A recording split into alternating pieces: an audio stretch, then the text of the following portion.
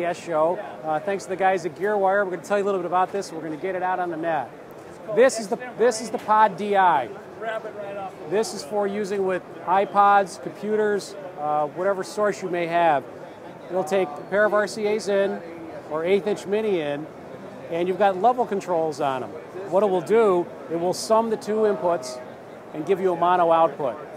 You've also got a level control for each channel, so if you happen to have audio on one side and spoken word on the other, you can now mix them down to a single output and not have to tie up uh, two channels on your console.